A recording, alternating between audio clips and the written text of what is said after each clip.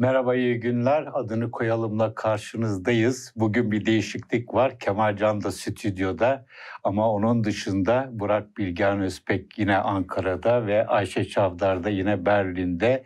Bugün ağırlıkla Kemal Kılıçdaroğlu'nun ortak aday olup olmayacağı üzerinden muhalefeti konuşacağız. Aslında bu konuyu daha önce de konuşmuştuk. Adını koyalımın ilk bölümlerinden birisinde. Ama şimdi işin rengi biraz daha değişir gibi oldu. Özellikle Kılıçdaroğlu'nun Habertürk yayınında belediye başkanları Ekrem İmamoğlu ve Mansur Yavaş'ın adaylıklarına e, karşı çıkması, onları bir nevi adaylıklarının üzerine aday adaylıklarının diyelim üzerine çarpı atması işi biraz daha e, değiştirdi. E, bütün bunların üzerinden bir e, yayın yapacağız. Arkadaşlar merhaba. Kemal sana da hoş geldin. Eyvallah. Evet. Merhaba. Ee, Merhaba. Şimdi olayı iyi özetledim mi bilmiyorum ama bu tartışma zaten hep var ve olacağı da benziyor seçim anına kadar. Ee, Erdoğan'ın bir şekilde aday olacağı kesin gözüküyor iktidar cenahında ama muhalefette kimli, kimin aday çıkacağı, ortak aday çıkıp çıkmayacağı vesaire.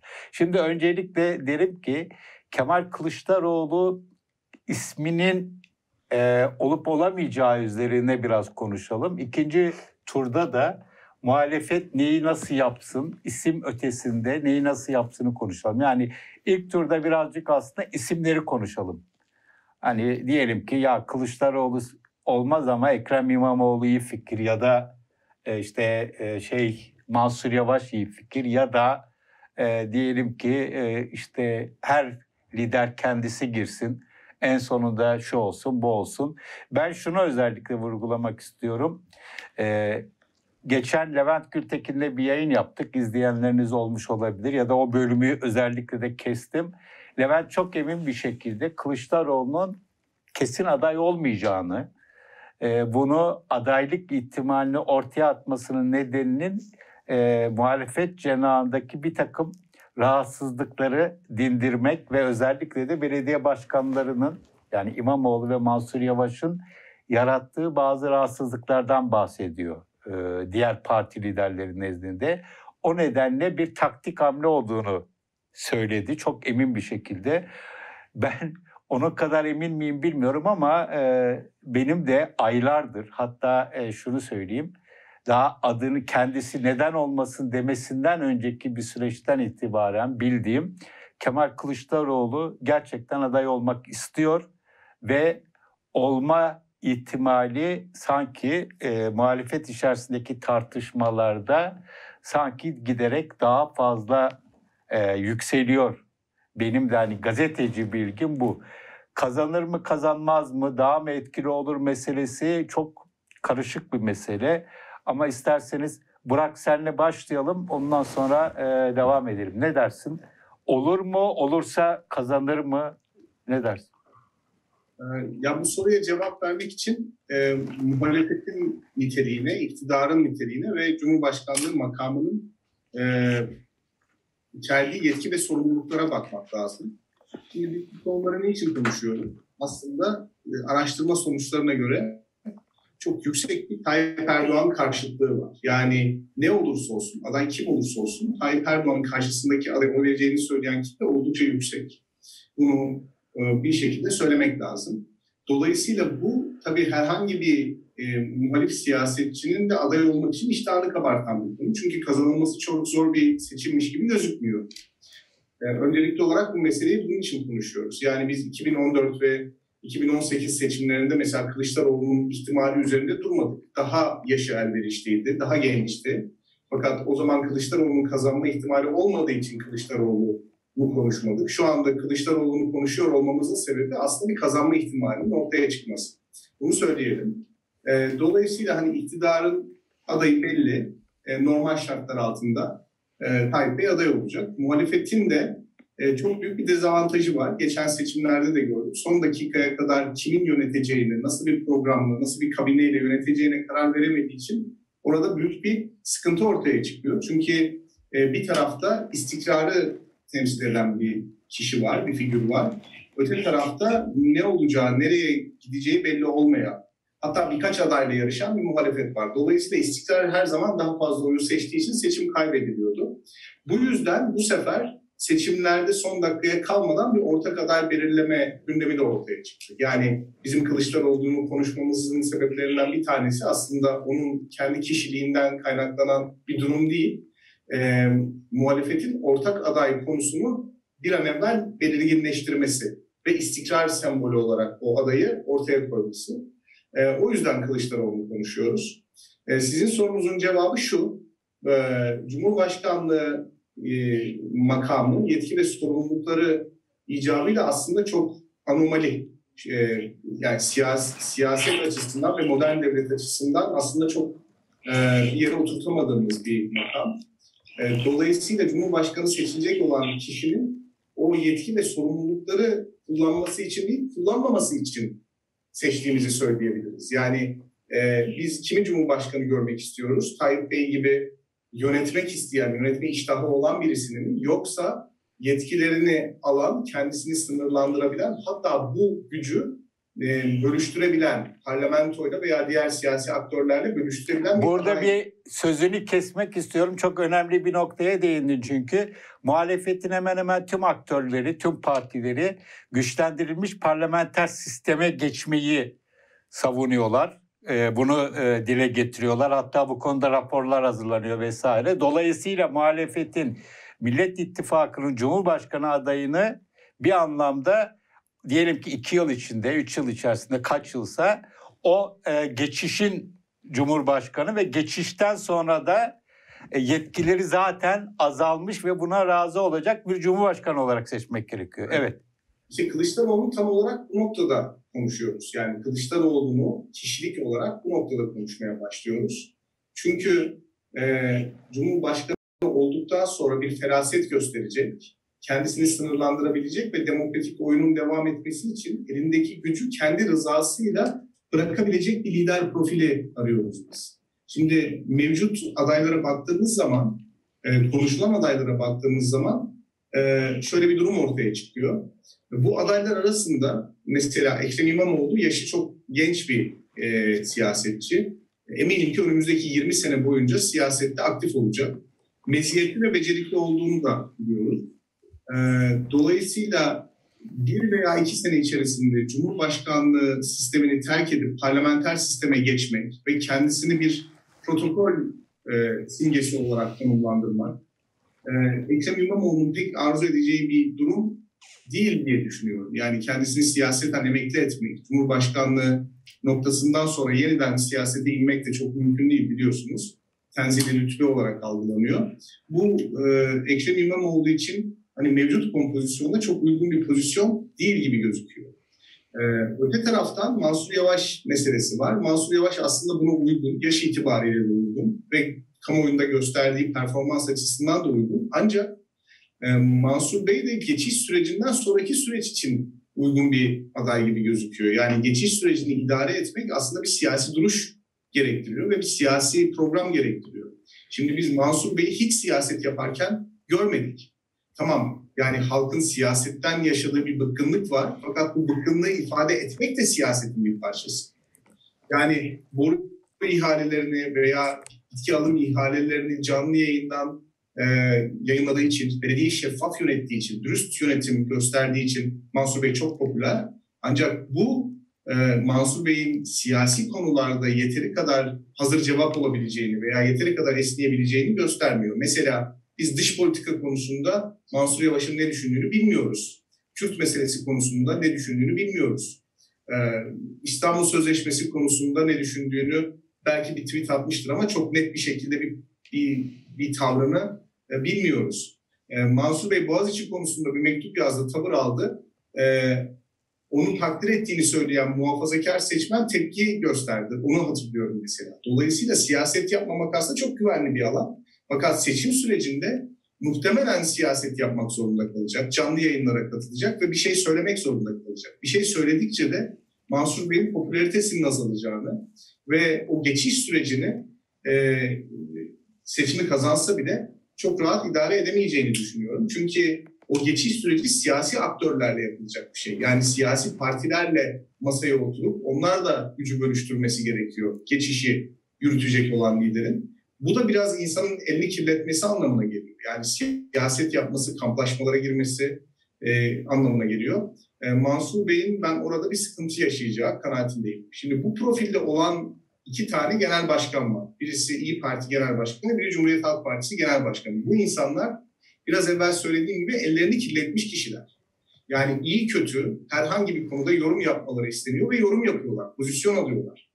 Anketlerde belediye başkanlarının yüksek çıkması fakat parti genel başkanlarının düşük çıkmasının sebebi de o.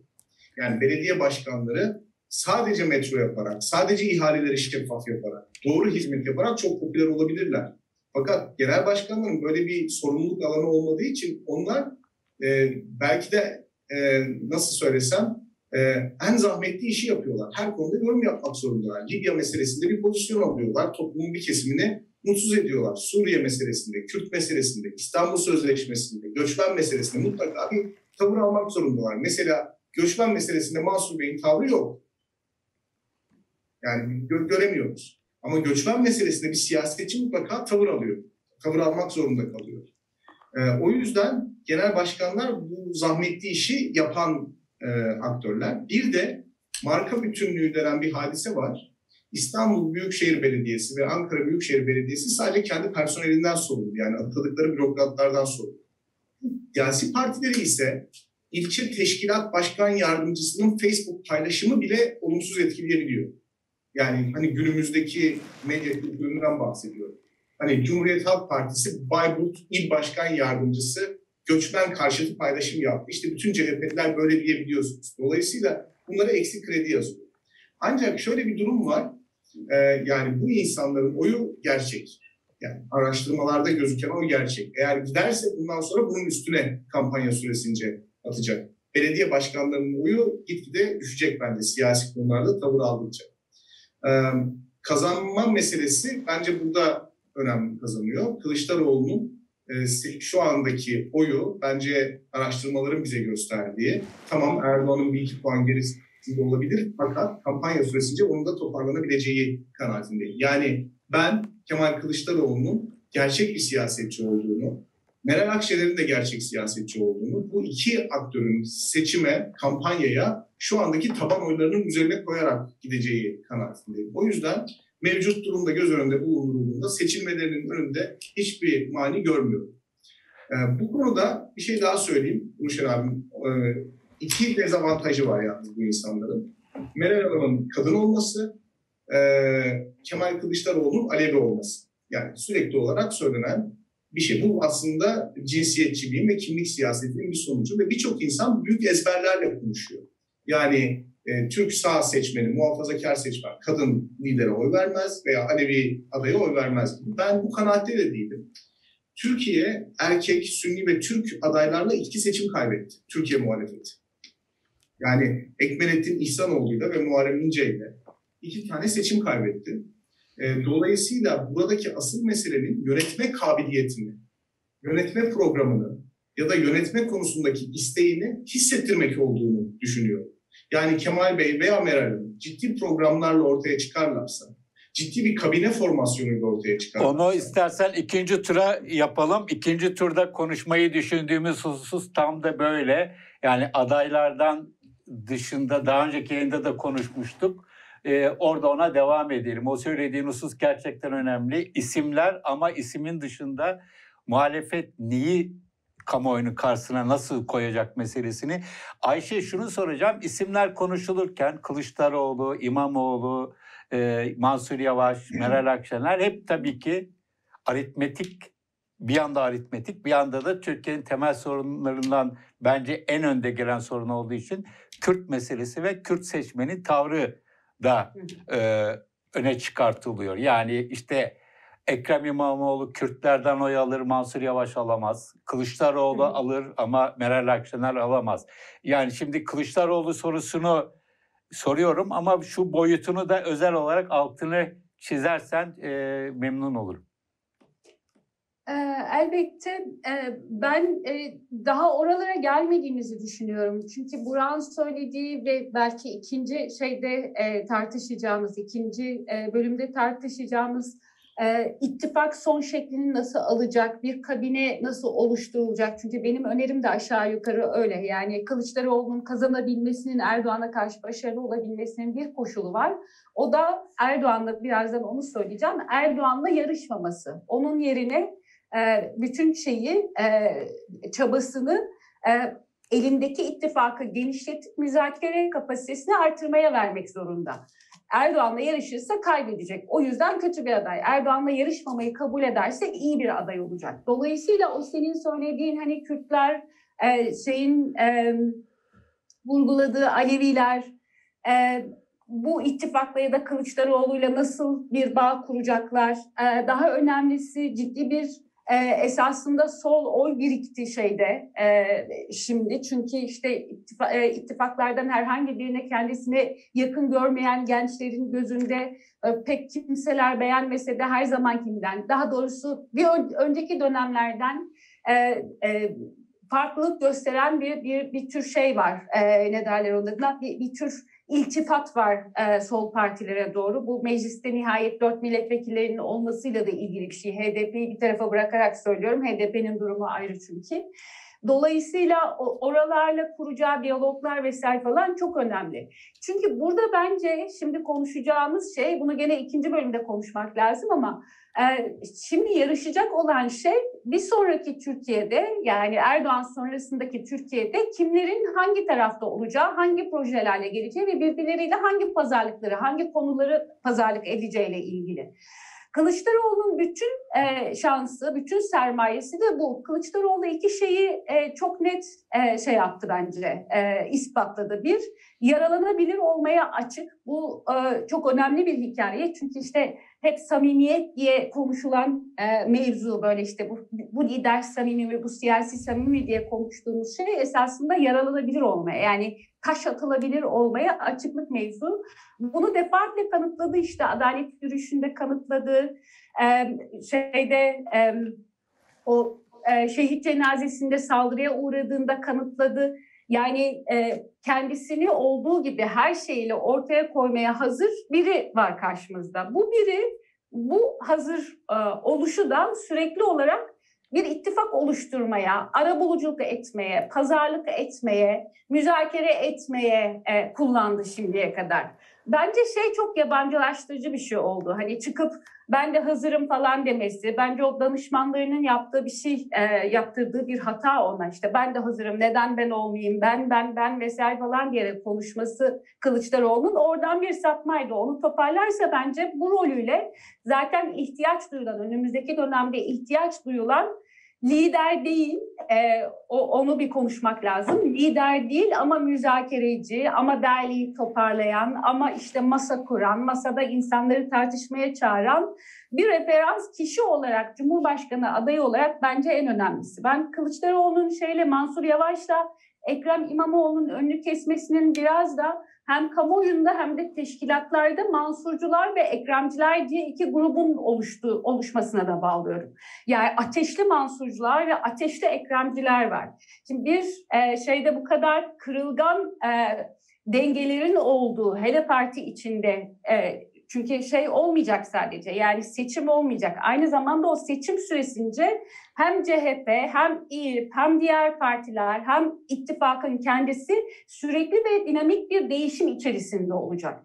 Şimdi öyle bir dönemde bu ateşli Ekremcilerle ateşli Mansurcuların birbirlerine girme ihtimali bence hiç az değil ve doğru da değil. Kendisi ayrıca bir şey daha söyledi. Ben onun da yabana atılır bir şey olduğunu düşünmüyorum.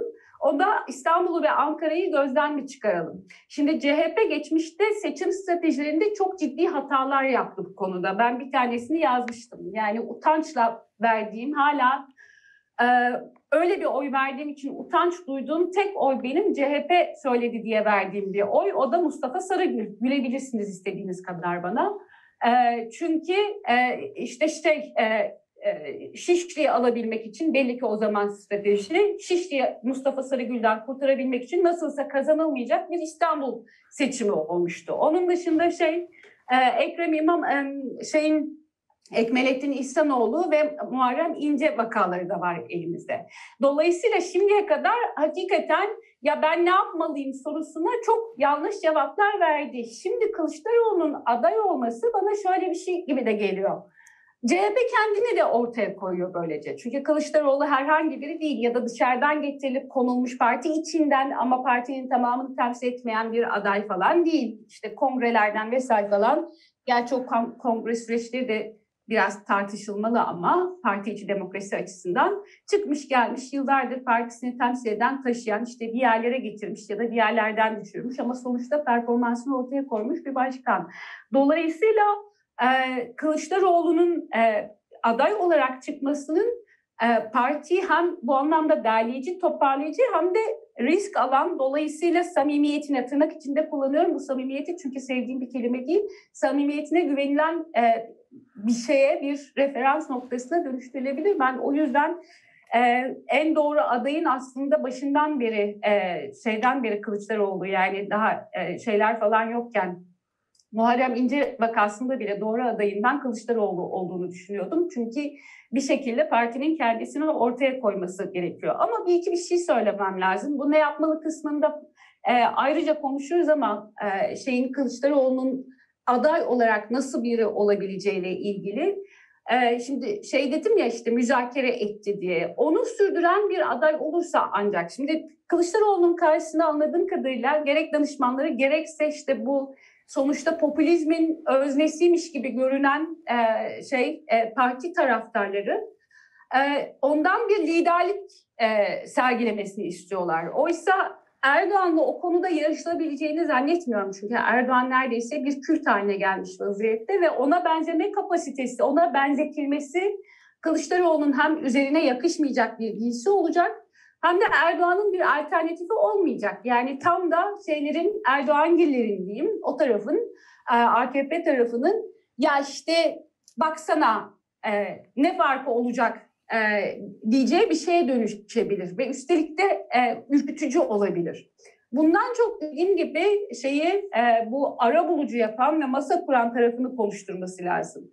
E, bir dediğim gibi e, yakışmadığı için yani öyle biri değil çünkü Kılıçdaroğlu istese de öyle birisi olmayacak. O yakışmayan şeyi üzerine giydiği için giydiği zamanda hem yaşı itibariyle hem şimdiye kadar onunla e, ona tanıklığımız, onunla tanışıklığımız itibariyle böyle bir sonuç vermeyecek. Bu şart bence en önemli şart. Lider, lider olmaya değil, bir hakeme, e, bir hakemlik pozisyonuna oynaması. Çünkü önümüzdeki dönem yani seçimden sonraki dönem e, o ara buluculuk rolüne bizim çok ihtiyacımız olan bir şey olacak. Bu Buran söylediği gibi yetkilerini kullanmayacak bir başkan arıyoruzdan biraz daha fazla bir şey. O yetkilerini ne için kullanacak? İşte kabine olacak mesela o kabine içindeki e, dengeleri nasıl kullanacak? Şöyle bir durumu da var çünkü e, şeyin.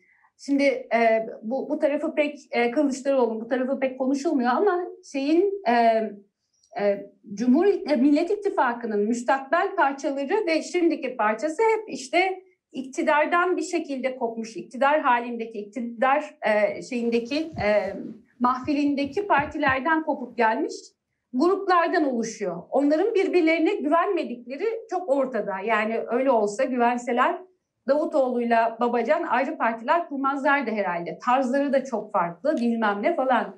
Bunlar ancak üçüncü bir evde yan yana gelebilirler. Yani dışarıda bir evde, kendilerinin olmayan bir evde yan yana gelebilirler.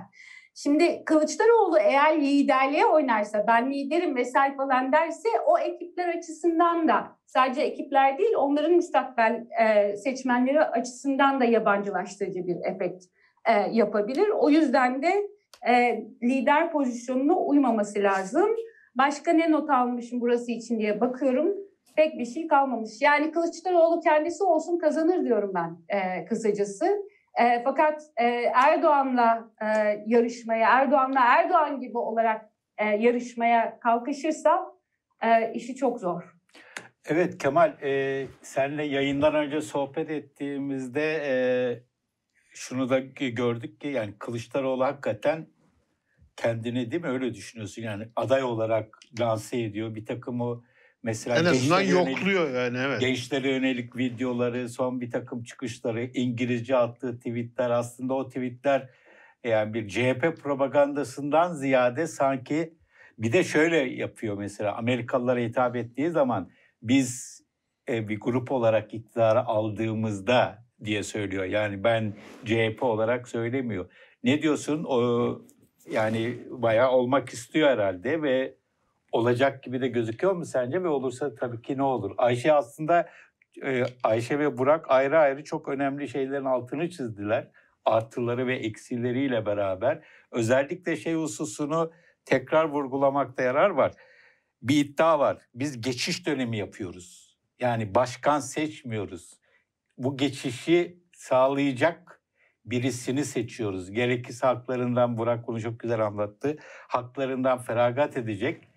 Esas film yeni sisteme geçildiği zaman başlayacak ve orada işte liderlik gösterileri olacak ve Kılıçdaroğlu da orada ya da herhangi kim Cumhurbaşkanı olursa orada bir daha sembolik bir konuma gelecek.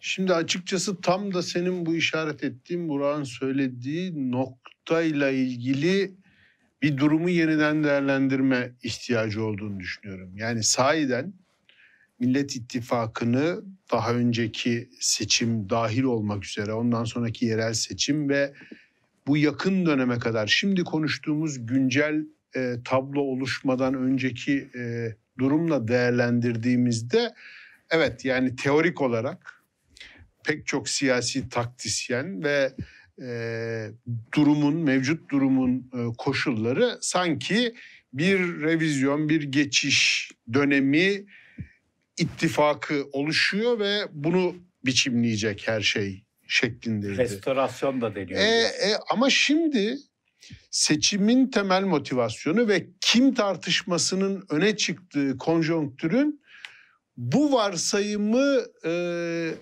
ana mesele olmaktan uzaklaştırdığı kanaatindeyim aslında.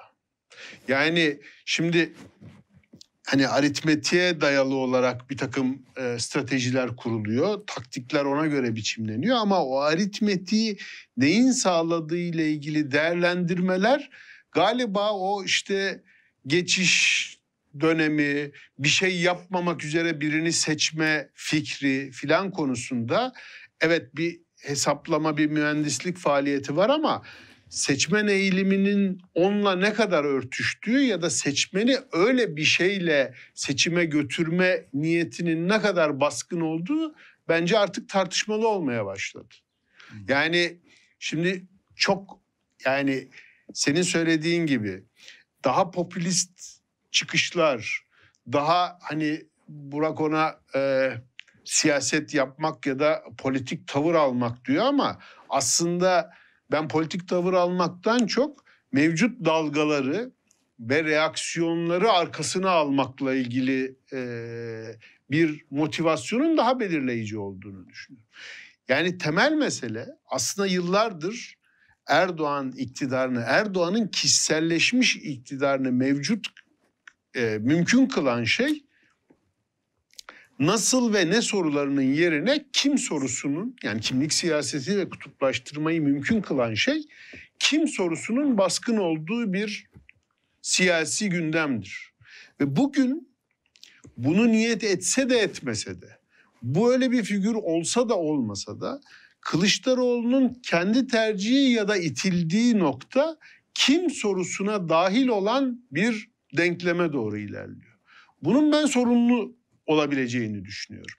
Çünkü şimdi hani e, bir yandan işte onun e, mezhep kimliği ya da CHP'nin genel başkanı olması dolayısıyla belki de çok yerleşik olan e, bu siyasi kamplaşmayı kırabilecek bir aktör olması. Bunu biraz şeye benzetebiliriz. Hani Obama'nın seçildiği tabloya getir. Yani Amerika'da siyah bir başkan olur mu? Amerika'da siyah bir başkan oldu ama peşinden Trump geldi. Yani hani bütün o kutuplaştırmayı kıracak ve bütün dengeleri bozacak bir şey olarak ve artık başka türlü düşünmeyi mümkün kılacak bir şey gibi düşünüldü ama onun kurduğu ve onun yarattığı zemin tam tersi bir şeyi üretti.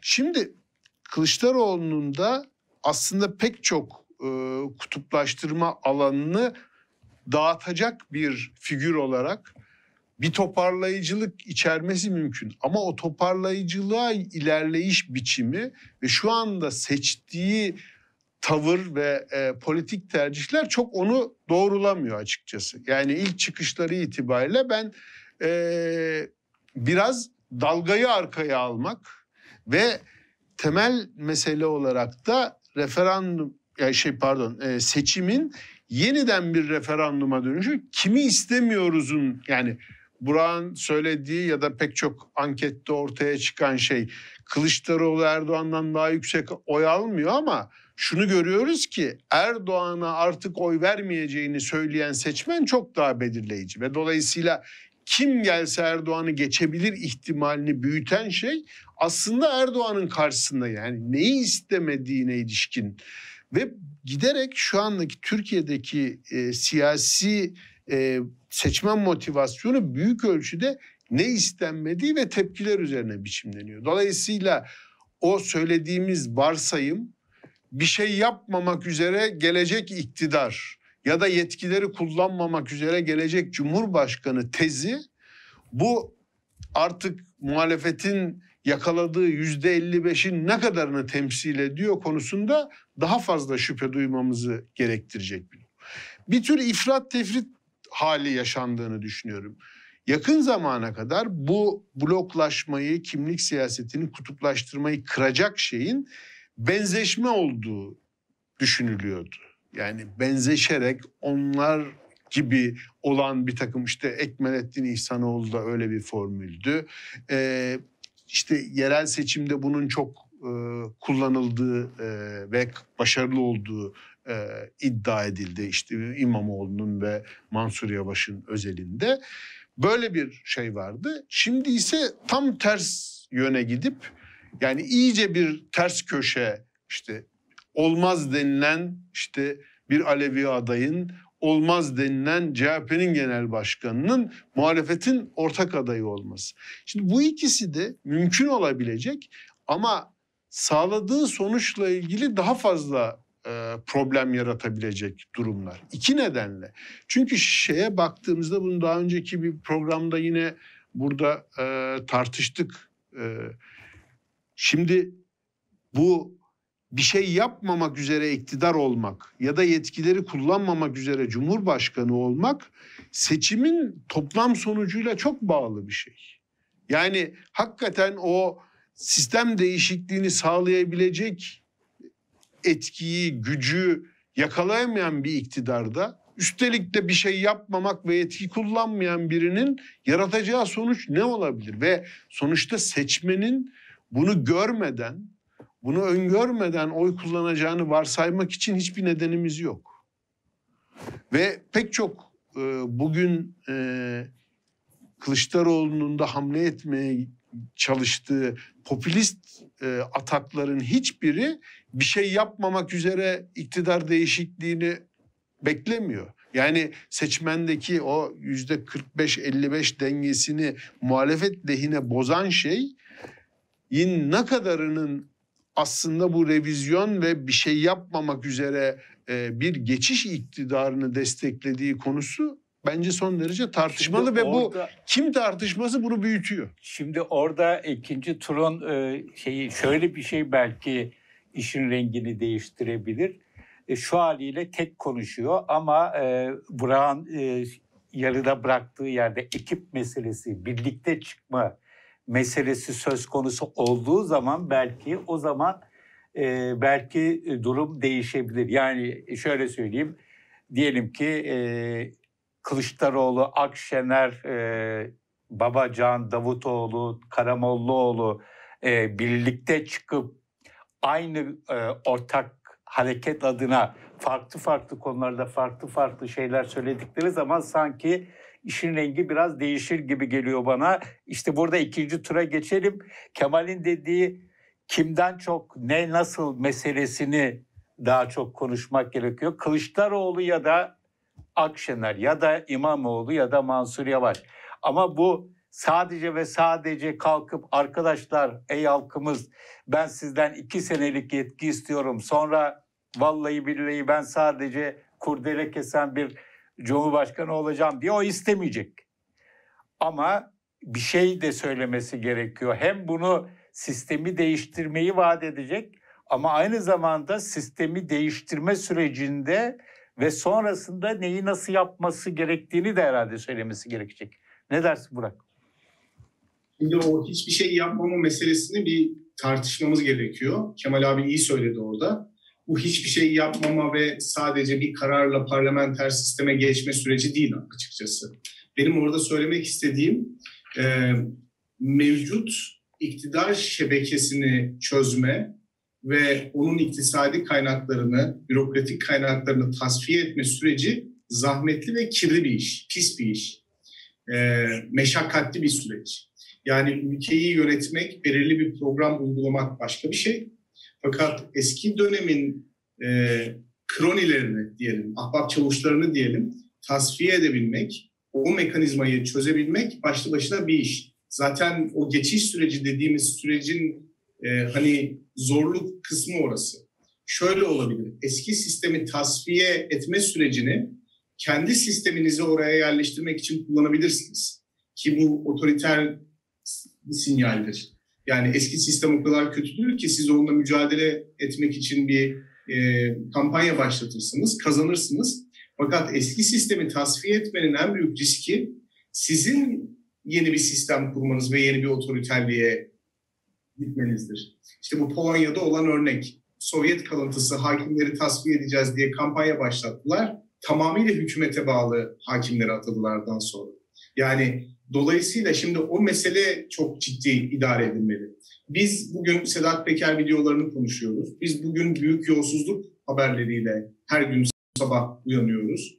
Biz bugün devlet kurumsallığının çöktüğünü görüyoruz. Yasa hakimiyetinin, hukuk, hukuk düzeni demiyorum bakın çok daha temel bir şeyden bahsediyorum. Hukukun üstünlüğünden bile daha temel. Yani kanun hakimiyeti. Modern devletin 18. yüzyıldan bu yana alameti farikası. Kanun hakimiyeti prensibinin bile uygulanmadığı bir durumdan bahsediyoruz.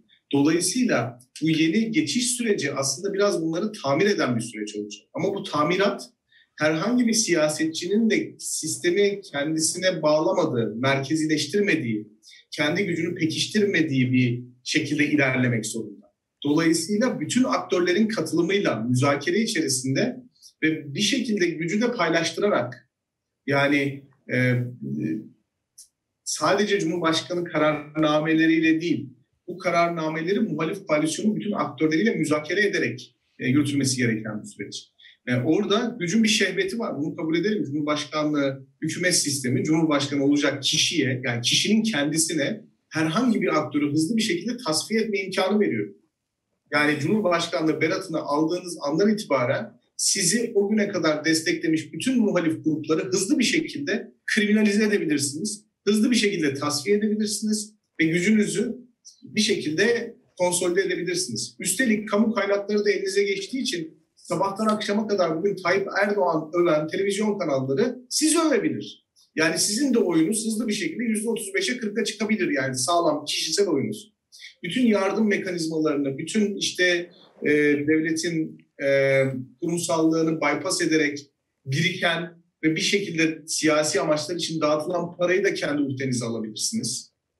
Üniversiteleri, akademiyi, sivil toplumu bir şekilde merkezleştirebilirsiniz ve yepyeni bir Tayyip Erdoğan oluşa, oluşabilir orada. Hani burada mesele yeni bir Tayyip Erdoğan yaratmak, daha bize sempatik gelen bir Tayyip Erdoğan yaratmak değil. Bu kişisel hareket alanını geniş tutan sistemi daha müzakereyle, daha muhalefetin aktörleriyle e, istişare ederek eski sistemin tasfiye sürecini tamamlamak. Yani asıl amacımız bu. O tasfiye sürecini tamamlamak için de hakikaten e, yani Ayşe orada doğru söyledi masa kurabilen bir lider olması gerekiyor. Siyasi hırsları çok fazla olmayan yani önümüzdeki 20 senelik bir siyasi projeksiyon yapmaması bek, yapmamasını beklediğimiz daha akil, daha feraset sahibi tabiri caizse bu projeyi kendi jübilesi olarak gören bir siyasetçi profiline ihtiyacımız var. Şimdi bu e, Kemal Kılıçdaroğlu'nun kim olduğundan ya da adayın kim olduğundan bağımsız bir şey. İhtiyacımız olan profil bu. E, muhalefetteyken diyalog kanallarını açık tutan işte siyasetçiler var ve bunlar İstanbul ve Ankara belediye seçimlerini kazandılar. Ben muhalefet siyasetçilerinin yeteri kadar bu ferasete sahip olduklarını düşünüyorum. Bu tasfiyeyi de yapabileceklerini düşünüyorum açıkçası. Orada benim çekincem, benim endişem sadece e, seçimi kazanma noktasında değil. Ben iyi bir programla, ülkeyi yönetme kararlılığıyla ortaya çıkıldığı takdirde seçimin kazanılacağını düşünüyorum. Bu konuda çok samimiyim. Yani e, Kemal Bey'in de, Meral Hanım'ın da, Ekrem Bey'in de, Mansur Bey'in de. Bu insanların seçimi kazanacağını düşünüyorum. Orada bir, bir tereddütüm yok. Eğer doğru politikayı önerirlerse ve halkı ikna ederlerse ve halkın da bu kimlik politikası meselesi doğru, çok doğru. AK Parti'nin oy, oyunu yıkmak istediği saha orası. Ancak günün sonunda şunu da kabul etmemiz lazım. Muhalefet halka yönetme sinyalini verdiği zaman kazanıyor. Kazandı geçmişte. Ama daha önceki iki Cumhurbaşkanlığı seçiminde maalesef bu yönetme sinyalini veremedik. Yani muhalefet adayları veremedik. Verilirse kazanılır. Asıl problem seçimden sonra o geçiş sürecinde başlayacak. Yani devletin içinde son 20 senedir bir şekilde kök salmış, kendi imtiyazlarını kaybetmek istemeyen, işte kamu ihale pastasından pay almış, semirdikçe semirmiş, bir şekilde bu sistemin, bu sistemsizliğin kendisinden bir sistem üretmiş olan aktörler tasfiye olmaya direnecek. O bakımdan orada e, yani o geçiş sürecini idare edecek aktörün hakikaten biraz sistemin elementleriyle e, barışık, sistemi tanıyan birisi olması lazım.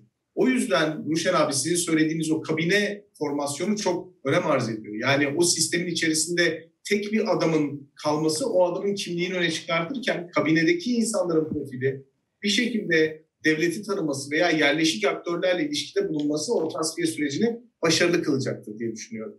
Evet, e, Ayşe senle devam edelim. Sen de bir takım notlarını e, bu bölüme sakladın. E, gerçekten bir restorasyon, revizyon, tasfiye vesaire kaç yıl sürecek? E, Cumhurbaşkanlığı hükümet sisteminden çıkılacak mı, çıkılmayacak mı vesaire ama sonuçta bunu bir kişinin yapabilmesi zaten mümkün değil. Ama ortada da şöyle de bir sorun var tabii bunu biliyoruz e, bir e, muhalefet bloğundan bahsediyoruz ama muhalefet bloğu birbirine benzemeyen insanlardan oluşuyor. Mesela Davutoğlu ile Babacan tek bir parti bile kuramadı yani. İki ayrı parti kurma ihtiyacı hissettiler. Hem tarihsel sorunlar var hem çok temel konularda farklılıklar var vesaire. Evet. Ya ben e, tam oradan başlayacaktım. Bu ne güzel bir avantaj diye başlayacaktım üstelik. Çünkü bizi buraya tek parti iktidarları getirdi. E, sonra bir tek parti AKP işte e, koalisyon olmayan koalisyon, koalisyon değilmiş gibi koalisyonlar kurarak hem kendini bitirdi hem de ülkenin kaynaklarını neredeyse yok etti. E, şu son yangınlar vesaire falan da öyleydi. Çünkü işte tek akıl aslında e, tek karar ve as, e, şey yapamayan, işler görmeyen bir e, akıl ve kararla e, yürütmeye çalıştık. Şimdi bana en eğlenceli ve en bereketli, en umut verici gelen şey de muhalefet bloğunun bu kadar farklı aktörlerden üstelik bir de birbirine çok da güvenmeyen aktörlerden oluşması. Çünkü bu demek oluyor ki öyle bir döneme gireceğiz ki bu aktörler birbirlerini hiç denge ve denetleme kurumunun kalmadığı bir siyasi ortamda birbirlerini dengelemek ve denetlemek ihtiyacı hissedecekler. Çünkü kimse bir diğerinin olduğundan daha fazla ileri gitmesini istemeyecek. Ben Burak işte şunları şunları yapabilir diye hani e, şey sıraladı ya onu kendisinin de öyle yapabileceğini Kılıçdaroğlu'nun ya da yeni gelen herhangi birinin şu formülasyonda yapabileceğini düşündüğünü zannetmiyorum. Teorik olarak öyle bir durum var tabii ki. Hani yeni gelenler eskiyi tasfiye ederken kendi otoriterliklerini kurabilirler. Ama dönüyorum gene bu kadar farklı aktörlerden, bu kadar birbirine benzemez ve bu kadar birbirine güvenmeyen aktörlerden oluşan bir koalisyonda o işleri yapmak zor. Her ne, neredeyse imkansız ve ben de buna yatırım yapıyorum. Buna çok güveniyorum. Bahsi buradan açıyorum yani. O nedenle zaten Kılıçdaroğlu'nun adaylığının diğerlerinden daha avantajlı bir şey olduğunu düşünüyorum. Şimdi ne yapabilirler? Bir kabine, bir, bir an önce bir kabine açılması lazım. Şimdi ka- kabine açıklamaları gerekiyor. Kabinede boşluklar olabilir diyebilirler ki biz işte şu cumhurbaşkanı yanında da şu adamlar var şimdilik, şu adamlar ve kadınlar var şimdilik yanımızda. Buralarda dolacak. Böylece şu olabilir. Bu aynı zamanda seçime hazırlanma stratejisidir de bence. Erdoğan'la Erdoğan'ın karşısında ne olacak tartışmasından ya bu kabine içinde bu işi şu yapabilir, bu yapabilir diye muhalefetin kendini tartıştırdığı bir denkleme geçebiliriz. Muhalefet kendini tartıştırarak bir mecraya dönüşür. Bir merciye ve bir mecraya dönüşür. Ben bunun değme propaganda, Türkiye'nin şu halinde değme propaganda kampanyalarından daha iyi işler göreceğini düşünüyorum. Çünkü bu tek partili işte tek e, akıllı, e, tek yetkili e, tuhaf Alaturka Cumhurbaşkanlığı sisteminin en büyük şeylerinden bir tanesi, en büyük hikayelerinden bir tanesi bir türlü o tartışmanın içine e, şey karşı ya da taraftar olmanın dışında siyasi tartışmanın içerisine giremememizdi. Şimdi böyle yaparsa siyasi alanı e, AKP'nin son derece daralttığı, tarzı siyasetiyle daralttığı hatta yok ettiği, üstelik bir de çürüttüğü siyasi alanı kendini tartıştırmak suretiyle e, e, bu kuali şeyi e, kabineye açıklayarak kendini tartıştırmak suretiyle açabilir. Oradan artık toplumda ne varsa onu duymaya, onu çıkarmaya başlıyoruz. Çünkü şu durumda işte göçmen tartışmasında da aynı şey, Afganistan tartışmasında da aynı şey, işte yangınlarda da aynı hikayeyi tartıştık. Birdenbire her konuda bir bir tuhaf bir e, ikili tartışmaya evet hayır karşı e, taraftar vesaire falan gibi tartışmalara sıkışıyor. Bu alanı açarak bence e, kendisini siyasi tartışmanın ana mecrası haline getirir e, şey e, muhalefet. Muhalefet diyorum burada çünkü daha Millet İttifakı e, Millet İttifakı'ndan fazla bir şeyden bahsediyoruz. Belki o şeye katılarak bir ittifak olacak. Belki de hani başka bir formülasyon bulacaklar bilmiyorum ama onun açıklanması gerekiyor. Ee, onun dışında yapabilecekleri şeylerden bir tanesi e, şeyle e, toplumla mevcut sorunlar üzerinden diyaloglar kurmak. Yani atıyorum şunu bile yapabilirler daha şimdiden. Ya adaylar belirleyeceğiz, aday ihtimalleri, aday adayı adaylarını belirleyeceğiz şimdiden. Hadi konuşalım. Şimdi burada bütün hikaye az önce söylediğimde de o vardı. Burada bütün hikaye şeyle e, toplumla e, şey olmadan temas edebilmek. E, sanki AKP'yi ya da mevcut Cumhur İttifakı'nı böyle e, buna şey demiştim öyle anlatayım. Şimdi metafor kullanmadan anlatmaya çalışıyorum olmuyor. Boğa çan stratejisi. Yani orada karşımızda bir boğa var. Bütün gücüyle üstümüze doğru geliyor. E, pek gücü de kalmadı ama hala bütün gücüyle üstümüze doğru geliyor. Biz ne yapacağız? Şeyimizi, yumruğumuzu boğaçanın, boğa, boğanın alnına dayıp onu ayakta mı tutacağız rakibi olarak? Yoksa şöyle bir kenara çekip kendi ağırlığıyla tepe üstü e, çakılmasını mı bekleyeceğiz? Ben ikincisinin bu durumda geçerli olacağını ve o sahayı kurmak gerektiğini düşünüyorum. Dolayısıyla yapılacak işlerden bir tanesi orada bir şenlik kurmak. Yani o şenlik de ancak şeyle olur. Kendini tartıştırarak, kendini tartışmaya açarak, yapacaklarını söyleyerek. Bir şey daha söyleyeyim. Bu e, şimdi en temel vaadi Millet İttifakı'nın Ayrıca diğerlerinin de Millet İttifakı dışında kalan e, şeylerin de e, muhalefet partilerinde en temel e, vaatlerinden bir tanesi parlamenter sistem. Şimdi kimi ağzından kaçırıyor, dönüş diyor, kimi iyileştirilmiş diyor, kimi işte geliştirilmiş diyor falan. Ama bir taraftan bakıyoruz parlamentoda nasıl bir performans sergilediklerini işte Önder Algedik geçen haftadan iki haftadır, üç haftadır neredeyse yazmaya başladı. Bu sefer uluslararası anlaşmaları merkeze alarak e, istatistiği çıkarmış.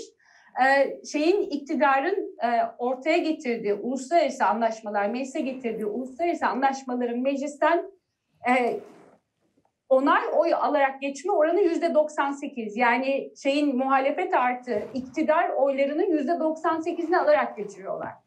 Şimdi meclis güçlendirilmiş meclis diyorsun, iyileştirilmiş meclis diyorsun, elinde bir meclis var, bunu çalıştır dediğimiz zaman sürekli şey yapıyorsun. Ee, ya ama bizim işte gücümüz yetmiyor ki diyor ama e, diyor muhalefet vekilleri. Öbür taraftan bir bakıyorsunuz bu örnekte olduğu gibi onay vermesi halinde keza şeyde İİP'lilerin e, orman yasasında başlarına gelen şey 14 kişi onay vermiş. Sadece dolayısıyla şeyden bahsetmiyoruz. E, söylediğim şu, e, orayı bir e, geleceğe dönük bir e, şeyin hani e, geliştirilmiş ya da iyileştirilmiş parlamenter sistem diyoruz ya, onun bir e, ön gösterim sahası, prova sahası haline şu andan itibaren e, getirebilir. Meclisi kullanabilir. Meclisin bütün mekanizmalarını topluma kullanabilir. Topluma meclisi şimdiden açmaya başlayabilir. Bu da eğer öyle bir yere doğru gideceklerse ellerindeki önemli stratejilerinden biri olarak işlev görecektir. Dolayısıyla gene özetleyeyim iki tane temel şey var. Her şeyden önce kendisini tartışmaya açması iki yerde. Bir tanesi şeyle hani kabinesini açıklasın ve e, koysun şeye, e, vitrine. E, biz onları tartıştı, tartışalım. Hatta değiştirelim de yol üstünde gitmeden. Onları tartışalım. Artık aday tartışmamıza gerek yok. E, ikincisi e, şeyle, e, sahayla e, bu işte parti içi demokrasi e, mekanizmalarını işletir hale getirecek. İşte aday, aday adayı bilmem ne vesaire falan tartışmasını şimdiden yapmaya başlar. Üçüncüsü de dediğim gibi meclisi bir, bir tür bir e, showroom, yeni dönemin bir showroom'u olarak şimdiden kullanmaya başlar. Bunu yapmanın da birçok yolunu bulabileceklerinden, yaratıcılıklarını bu konuda kul- kullanırlarsa eğer uğraşacaklarından, e, icat çıkaracaklarından eminim çok da iyi olur. Bütün bunun özü ise şu, şeyin, e, muhalefetin e, kendisinin e, siyasetin ya bütün o e, birbirine benzemez, birbirine birbirine güvenmez aktörlerin e, hem birbirleriyle tartışmaları hem de bir kendilerini toplumun e, şeyine e, eleştirisine, tartışmasına, müdahalesine, angajmanına hatta açmaları. Ben başka da bir yol olduğunu zannetmiyorum. Çünkü propaganda teknikleri bitik artık. Hani medyada yoklar, çok az medyada varlar. Sokağa çıktıklarında işte e, karşılaştıkları bir e, sürekli bir direnç durumu var vesaire falan filan. Bunun ortadan kalkması için bir kere dediğim gibi bu e, şeyi e, kendi siyasetlerini hem birbirlerini hem topluma daha da fazla açmaları gerekiyor. Başka da propagandaya bence ihtiyaç olmuyor. Kemal e, Ayşe'nin söylediği kabineyi ilan etme fikri e, daha önce çok konuştuğumuz, e, Burak'ın da söylediği, önceki yayında da konuştuğumuz ekibi gösterme, birlikte ortaya çıkmanın bir daha üst aşaması sanki. E, buna ek olarak başka yani kim olmasının dışında nasıl ve ne sorusuna e, neler geliyor senin aklına? Yapılan, yapılabilecek, yanlış yapılan. Ya işte e, aslında birinci turda söylediğimden devam ederek buraya bağlayayım. Yani kim sorusu gibi bu kabine de aslında kim sorusunun bir Tabii uzantısı. Kimler oluyor? Çünkü şöyle bir şey yani önce ne yapılacağına ilişkin bir şeyi tarif ettiğinde bunu en iyi kim yapar sorusuna bu kabinede ya da Cumhurbaşkanı içinde kim olur sorusuna işte Burak'ın biraz önce söylediği gibi hani ya da Ayşe'nin daha önce söylediği gibi hani masa kurabilmeye uygun masa kurulacak çünkü diye düşünüyorsak o zaman tabii ki masa kurula kurmaya masayı e, işlevli hale getirebilecek olan kim olur? Sonra kabine dediğin şey o masaya hani kimler hangi dosyalarla otururlar ve kimlerle müzakere. Şimdi bunların hepsi bir süreklilik içerisinde. Ne yapılacağıyla uyumu açısından bakılacak şeyler. Çünkü eğer ne yapılacağıyla ilgili şeyi başka türlü tarif edersen o kim sorusu veya oluşacak kabine e, cevabı da başka bir şey. Burada iki boyutlu bir sorun var. Bir bu yapılacak şeyle yapacak olan arasındaki uyum ama ikinci bir katman var. Bu yapılacak olan ve yapacak olanla ilgili uyuma destek verecek olanların nasıl baktığıyla ilgili bir Seçmen. mesele. Seçmen yani tamam mı? Şimdi biz bir varsayım kuruyoruz. Tamam mı? Yani yaşanan soruna ilişkin bir şeyimiz var. Bir tespitimiz var. Bu tespite bağlı olarak ne yapılması gerektiğiyle ilgili bir fikrimiz var. Ve buna göre varsayımlar üretiyoruz ve diyoruz ki buna en uygun aday bu olabilir ve bu da böyle bir süreçle işleyebilir. Ama bu kurduğumuz hikaye ve bu soyutlama acaba böyle mi? Alanda böyle mi realize oluyor? Bununla ilgili problem var bence. Ve son yaşadığımız bu kimlik tartışmalarına doğru evrilmeyle diğer konu başlıklarındaki sivrilme bana çok bizim kurduğumuz tahayyül gibi yürümüyor iş diye düşündürüyor. Yani şeye katılıyorum. Şu anda muhalefet şimdiye kadar hiç olmadığı kadar kazanmaya yakın bir alana geldi. Yani çıkan anket sonuçlarından da hatta katılıyorum. Bu anket sonuçlarından daha ileriye doğru da taşıma ihtimali ve potansiyeli var e, e, muhalefetin desteğini. Çünkü hala kararsız bloğunda önemli bir şey var. Bu kararsız bloğuna akış e, iktidar cephesinden devam ediyor. Bence de her adayın kazanabilme şansını arttıran ve her halükarda muhalefetin kazanabileceği. Ama bu kazanmaya yakın olmak, kazanma fikrinin çok yakına gelmesi her zaman pozitif bir sonuç vermiyor. Yüksek bir motivasyon üretiyor ama odağı ve balansı bozabilen bir tarafı da var. Yani hem bir tür rehavet üretme hem de o kazanma imkanını ya da sonuç alma imkanını konsolide etme motivasyonunun bu şimdi ikinci turda konuştuğumuz peki ne yapılacak ve kimlerle nasıl yapılacak tartışmasını geriye iten bir şey. Şimdi mesela parlamenter sisteme dönüş, revizyon filan tartışmalarının giderek geriye doğru itildiği ve daha sivri evet hayırların şu konuda nasıl pozisyon alındığı meselelerinin öne çıktığı ve mesela Kılıçdaroğlu'nun kendi tercihleri ve e, siyasi kimliğinden bağımsız olarak onun yerleştirildiği ve bir takım siyasi taktisyenler tarafından itildiği alanın başka biçimlendiğini düşünüyorum. Yani bu ihtimalin ortaya çıkmaya başladı. Bu şeyi düşüren bir şey olmayabilir. Sonuç alıcı e, bir imkanı büyütebilir. Hatta oy desteğini bile büyütebilir. Yani çok kuvvetli tepki potansiyelleriyle ilişki kurmasını başarırsa muhalefet ne olursa olsun bunlar gitsin fikrini güçlendirebilir ve sahiden seçim kazanılabilir. Ama ben biraz daha uzun erimli bir şey olarak baktığımda bundan hayırlı bir sonuç çıkması Türkiye'nin daha demokratik, daha iyi işleyen, kendi sorunlarını tartışabilen ve bu tartışmalardan çözüm üretebilen bir zemini, Ayşe'nin söylediği o siyaset alanının yeniden açıldığı e, platformun ya da iklimin yeniden oluştuğu şey meselesini daha çok önemsiyorum.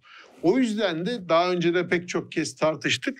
Hani sonuç odaklı bakmak evet ve imkanlardan sonuç üretmeye çalışmak siyasetin teknik olarak meselesi. Ama benim siyasetten anladığım ve e, olması gerektiğini düşündüğüm şey yapılacak olanla ilgili kısmı. İşte kabine meselesi ya da adayın kim olacağı meselesi o yapılacakla çok bağlı. Orada bir şey kayması olduğunu, bu kazanma fikrinin, sonuç alınabilir fikrinin çok yüksek e, bir şeye gelmesi, e, imkan veya e, mümkün e, hale gelmesi bu konudaki dengeyi biraz bozdu. Yani daha önce ifrat tefridi tekrar edeceğim.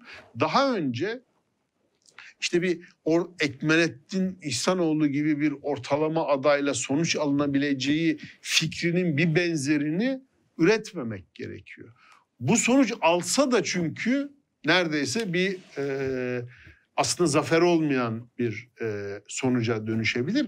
Bugünden kurulması gereken şey e, bu kim tartışmalarının e, veya hangi dalgaların üzerine oturulacağı tartışmalarının belki vazgeçilmeden kenarda tutulması ama o, asıl olarak yapılacak şeye ilişkin daha belirgin bir e, tablonun üretilmeye başlaması gerekiyor. Bu konudaki genel eğilimin, şu son tartışmaların hem seçmeni hem de siyasi aktörleri sürüklediği yerin e, bu tarafa doğru olmadığını e, gördüğüm için de e, biraz endişe duyuyorum açıkçası. Bir de şöyle bir şey var sanki e, e, mesela şimdi bir koalisyondan bahsediyoruz, bir ittifaktan bahsediyoruz ve kabine çıkartacak bu ittifak. Burada kabine kurarken tabii ki kim hangi sorunları nasıl çözer, en iyi çözeri gözetmenin dışında bir de e, herkese bir şeyler verilecek. Yani koalisyonun gereği bu. Ortakların hepsine bir şeyler verilecek ve seçmen noktasına geldiğimiz zaman Kemal'in söylediği seçmenin de o ittifakın olmasını arzulamakla birlikte ittifakta sevdikleri ve sevmedikleri hatta nefret ettikleri var. Şimdi isim vermek istemiyorum ama birilerini mesela şu alanın e, şu alanı buna veriyorum diyelim ki Kemal Kılıçdaroğlu Cumhurbaşkanı, Cumhurbaşkanı yardımcısı olarak şu işlerden sorumlu Cumhurbaşkanı yardımcısı şu arkadaşımız olacak dediği zaman biz bazı insanlar e, şey yapabilir, e, tepki de verebilir. Aslında çok hassas bir mesele ve bu anlamda tekrar müzakerecilik hususu önce e, Burak'ın ve Ayşe'nin dile getirdiği masayı kurabilme, masayı kurmada iki şeyi birlikte gözetebilmek gerekiyor. Hem sorunları çözebilme hem de dengeleri kurabilme. Bu aslında çok çetrefil bir şey. Bir de tabii bu arada şeyi de düşünmek lazım. İktidarın bu masayı dağıtma çabalarını da. Yani buraları sürekli torpillemeye çalışacak öyle değil mi? Yani HDP ile yapmaya çalıştığını daha sonra başka alanlarda da yapacak. Mesela diyecek ki aa bak işte bilmem neyi bilmem kime teslim ediyorlar. Ya da şu oluyor ya da bu oluyor. Böyle bir yeni yeni sorunlar da peşinde Ya, geliyor. iktidarın kendi yarattığı krizlere krizler eliyle hiçbir şey yapmadan o masayı e, biraz e, sorunlu hale sokabildiğini çok açık gördük yani. Hani 2-3 politik pozisyon alıp sivrilttiği her mevzuda e, benzer bir e, çatalın kendiliğinden oluştuğunu gördük, oluşabildiğini gördük. Yani evet çok Ama kırılgan. bunun, bunun bir yöntemi var arkadaşlar. Yani e, senelerdir yalnızca şey değil. Şimdi gene toplumsal muhalefet diyeceğim. Burak da oradan gülecek ama söyleyeceğim. E, ya bunun bir yöntemi var. Çünkü o hatları yumuşa, yumuşatacak olan şey siyasi partiler değil. Siyasi partiler hem iktidardaki partiyle hem birbirleriyle rekabet içerisindeler ve kimse birbirine güvenmiyor. O hatları yumuşatacak olan şey az, önce söylediğim o tartışmaya dahil edecekleri toplumsal kesimler bu, şekilde o geçişkenlikler. Ya bir iki tane koşul var onun. Bir kırmızı çizgi hikayesini AKP'ye bırakmayacaksın. Diyeceksin ki benim şeyim, e, benim kırmızı çizgim AKP evet ya da hayır demekle ilgilidir şu andan itibaren. De ve bitsin yani tamamen bitsin. Geriye kalanları ben kuracağım çünkü AKP'nin böyle bir şey e, böyle bir şey belirleme hakkı ve meşruiyeti kalmamıştır artık senelerdir yaptıklarından dolayı bir. İkincisi tartışmaya ne kadar çok toplumsal aktörü şey yaparsan, e, davet edersen o birbirleriyle rekabet iktidar için, iktidar gibi çirkin bir şey için birbirleriyle rekabet ed- et- etmekte olanlar daha edepli olmak durumunda kalırlar. Dolayısıyla orayı denetime açacaksın. O kadar karışık değil yani. Şeyi yerine bu- burada azıcık e, laf çarpmadan şey ettirmeyeceğim. Orada e, Kılıçdaroğlu'ndan bir lider tasarımı çıkarmak, bir lider figürü çıkarmak yerine bence beyhude bir hikaye o. Onun yerine biraz bu hikayelerle, siyaset nasıl açılır hikayeleriyle ilgilense danışmanları bence daha iyi bir iş çıkarmış olurlar. Üstelik de daha çok hizmet etmiş olurlar partilerine. Evet Burak senle noktalayalım. Ee, sen de bir şeyler söyle ve kapatalım dükkanı. Sesin açık değil yalnız. e, kabinenin teknokratik niteliğinin yüksek olması gerekiyor. Yani olabildiğince siyasete bulaşmamış veya siyaseten gölgesi yüksek olmayan diyelim isimlerden oluşması bu riski bence önleyebilir. E, teknokratik derken kastım da işte bu Türkiye'nin ivedi meseleleri var ve bu ivedi meseleleri bir şekilde e, teknik bir bilgiyle çözmek gere- gerekiyor. Ee, insanların hakikaten Türkiye'de öyle bir dönem yaşadık ki hani siyaseten yargıl, yargılanmayacak bir siyasetçi bulmamız çok zor. Yani bu çok zor bir iş. Yani herkes için söylenebilecek bir şey var, iyi ya da kötü. Dolayısıyla hani nasıl olacak, hangi isimler olacak bu kabinede bilmiyorum ama benim söyleyebileceğim şey teknokratik özelliklerinin yüksek olduğu insanlardan oluşmalı bu geçiş e, kabinesi. E, bu kısa zamanda bize şunu gösterecek. E, yani şu anda İsrail'de ve Rusya'da benzer modeller uygulanıyor. İşte İsrail'de biliyorsunuz kabine kuruldu. Rusya'da da yıllar sonra bu liberaller ve komünistler artık birbirleriyle temas etmeye başladılar. Yani bu, bu tip yönetimlere karşı bu müzakere kültürü çok önemli. Fakat topluma da hakikaten aktüel, somut, yakın te, e, sorunları çözme iradesi göstermek gerekiyor. Çok fazla siyasetin orada ilgiyi dağıtabilecek veya çekişmeyi artırabilecek bir yanı olduğunu düşünüyorum. O yüzden o kabinenin e, daha teknik ve rasyonel e, bir güdüyle hareket etmesi gerektiği kanaatindeyim. Evet burada noktayı koyalım. Adını koyalımı noktasını koyuyoruz. Ee, Kemal Kılıçdaroğlu aday olur mu olursa ne olur diyerek e, bayağı bir muhalefeti konuştuk. Burak Bilgehan Özpek, Ayşe Çavdar ve Kemal Can'a çok teşekkürler. Haftaya tekrar buluşmak üzere. İyi akşamlar. Türkiye'nin sivil, bağımsız, özgür ve çoğulcu bir medya ortamına ihtiyacı var. Medyaskop 20 Ağustos 2015'te bu ihtiyacı karşılamak üzere yola çıktı. Ama yolumuz uzun. Bu yolculukta bize Patreon veya YouTube'un katıl butonu üzerinden katkıda bulunabilirsiniz. Destek verin, sizinle güçlenelim.